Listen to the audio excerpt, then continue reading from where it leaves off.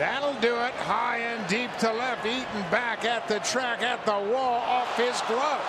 DeRosa jogs in from third and Sierra will stop at second.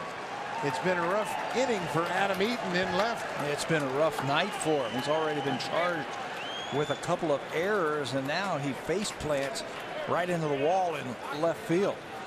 That ball was hit hard by Sierra. Just get the ball up in the air, get it into the outfield, and you're going to get yourself an RBI. Well, he does better.